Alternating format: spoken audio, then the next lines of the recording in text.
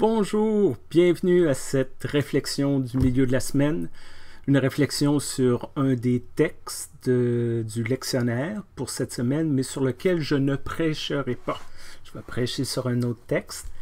Et cette semaine, je voudrais commencer ma réflexion par une conversation que j'ai eue il y a quelques jours, où on me demandait quel est le rôle d'un pasteur, comme toi Stéphane, dans une paroisse, dans une communauté de foi. Euh, comme dans l'église Sainte-Claire?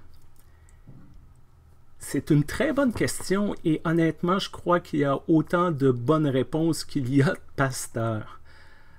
Personnellement, je voudrais commencer par dire ce que je ne veux pas être. Je ne veux pas être euh, l'homme dans la cinquantaine, blanc, à l'avant, qui prétend euh, tout savoir et qui veut enseigner l'interprétation correcte des écritures bibliques et qui veut expliquer la bonne façon de se comporter pour aller au ciel.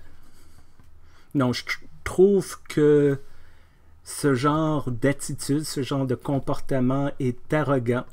C'est arrogant de penser, de croire, penser tout savoir, et souvent ça entraîne euh, des abus, parce que les gens se croient meilleurs, se croient au-dessus de la mêlée, se croient plus sains euh, que les règles ne s'appliquent pas à eux et à elles. Alors vous direz d'où vient mon autorité? Encore une fois, bonne question. Et c'est justement cette question, c'est une question similaire que Jésus reçoit de la part des pharisiens dans l'évangile selon Matthieu, chapitre 21. En gros, je vous résume, les pharisiens s'approchent de Jésus et lui disent Mais pour qui tu te prends pour venir ici, là, dans le temple, enseigner sur Dieu? Est-ce que tu as des diplômes? Est-ce que tu as des lettres de référence? Est-ce que tu as des preuves que tu as cette connaissance, cette autorité Et en lisant ça, et en regardant la société qui nous entoure, il faut avouer que la crédibilité et l'autorité sont des notions basées sur de l'arbitraire. Pour les uns, il est absolument important d'avoir une bonne scolarité, de pouvoir bien définir les concepts, de parler avec éloquence. Mais pour d'autres, bon, ils s'en foutent des diplômes. C'est l'expérience sur le terrain qui compte comme on dit, sur le plancher des vaches. Et les longs diplômes, on s'en fout. Ce qui est intéressant dans le passage biblique, c'est que Jésus retourne la question aux pharisiens. Lui, essentiellement, il leur demande comment définissez-vous l'autorité? Et les pharisiens, après un petit caucus, sont incapables d'offrir une réponse satisfaisante.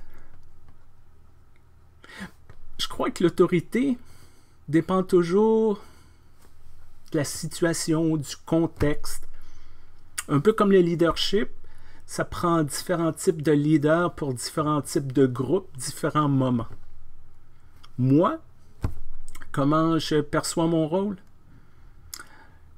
J'essaie d'être cette personne qui encourage, qui inspire, qui motive.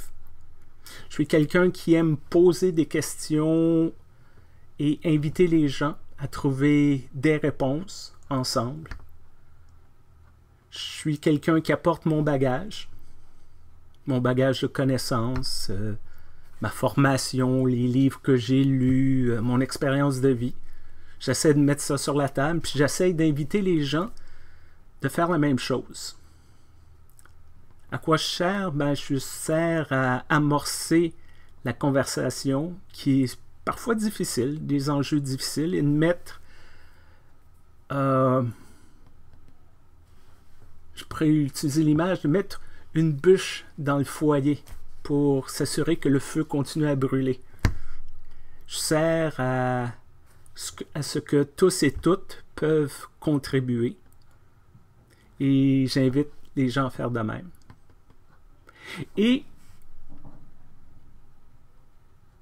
je vous invite à être un peu comme Jésus, justement. qui, est quand même mon modèle. Parce que nous pouvons tous et toutes être cette personne qui veut pas nécessairement terminer la conversation, gagner son point à tout prix, mais être cette personne qui nourrit la conversation et qui accepte que cette conversation-là va dans une zone différente, dans une place différente.